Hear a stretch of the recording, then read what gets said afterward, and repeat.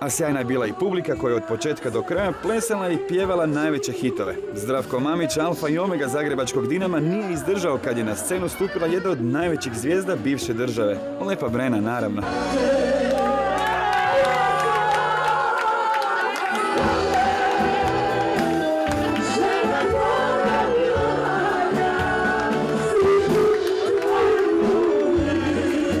Hvala Emiru.